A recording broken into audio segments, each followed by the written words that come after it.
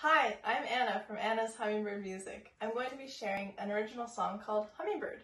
It's about how hummingbirds are unique and different from other birds, just like how we are all made uniquely.